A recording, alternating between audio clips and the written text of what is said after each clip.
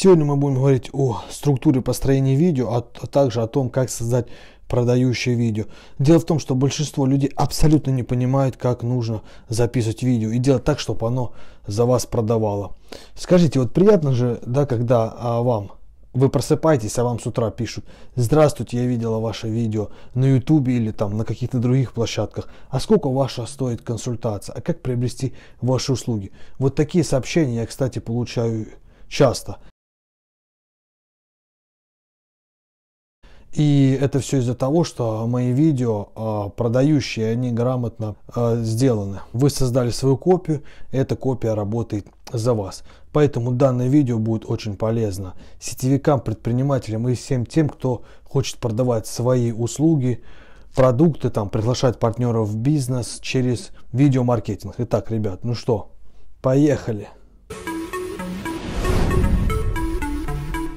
Всех приветствую, ребята, с вами на связи Фокин Евгений. Кто меня не знает, я интернет-предприниматель и немножко ютубер. Итак, погнали. Значит, с чего нужно начинать видео?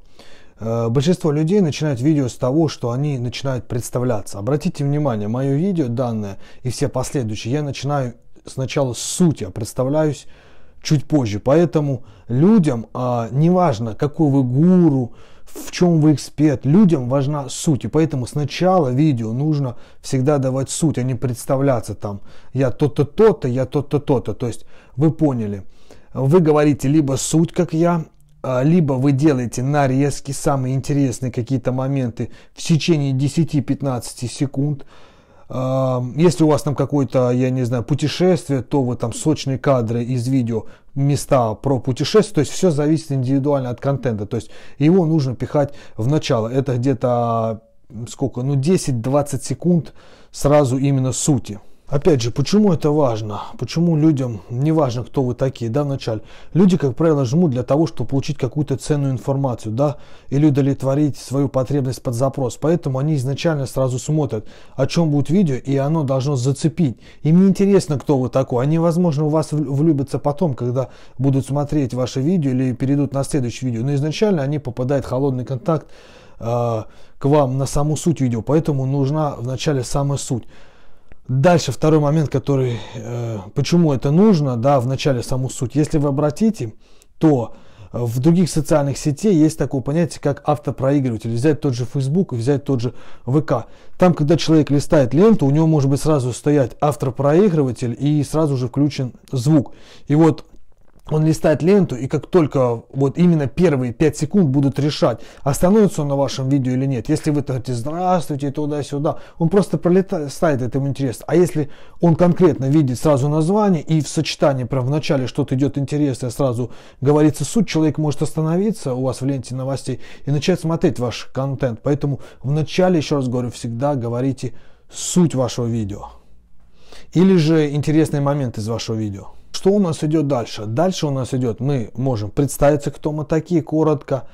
А, либо же второй момент, мы сначала накладываем заставочку. Заставка должна быть коротенькой, 3-5 а, секунд, не больше. А заставка может быть э, там какой-то логотип ваш, ваш брендинг, еще что-то. Вот такая вот коротенькая заставочка. Если идет сначала заставка, потом уже можно представиться, кто вы такие. Либо же можно без заставки потом сразу представиться. И потом уже начинать рассказывать суть контента. После того, как вы представились, как я уже сказал, у вас должна идти суть. То есть идет суть, суть, суть. И в конце видео у вас должны быть различные виды призывов. Призывы должны быть обязательно, потому что я сам проверял, призывы реально эффективно работают. Должны быть обязательно призывы, если видео простое, не продающее, о продающем видео чуть позже скажу, то призывы должны быть обязательно. Подписаться на ваш канал, поставить вам лайки, поставить вам комментарий, поделиться вашим контентом. Вот эти призывы должны быть постоянные, они должны быть отработаны, они должны быть на автомате. Также, если это видео для YouTube, обязательно в конце должна быть э, закрывающее окно и наложено дополнительное видео, чтобы человек мог не останавливать, э, смотреть дальше полезный контент. То есть это очень важно. То есть вот такая стандартная структура э, видео.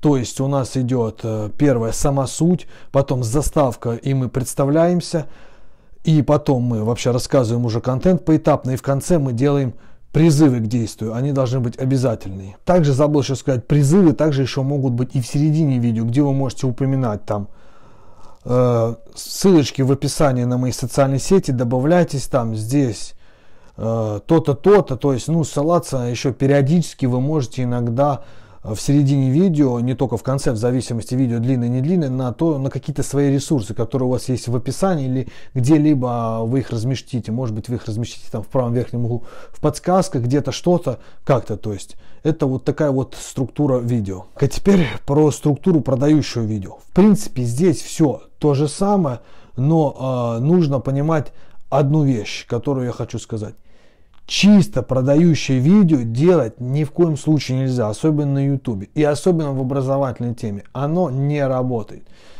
Люди не любят смотреть рекламу и рекламные ролики, поверьте мне. Нужно делать скрыт, скрытые призывы и скрытые какие-то продающие моменты. А, но само видео должно быть а, именно состоять из полезного контента. То есть вы даете полезный контент – и в этом полезном контенте вы делаете периодически продающие призывы, то есть напоминания.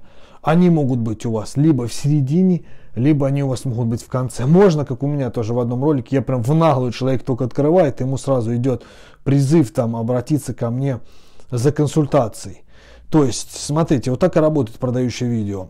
То есть структура, в принципе, вся та же самая, как я и сказал, только вы в середине видео, допустим, рассказываете, рассказываете полезный контент, человек уже вовлекся, он видит, что вы эксперт, он это все понимает.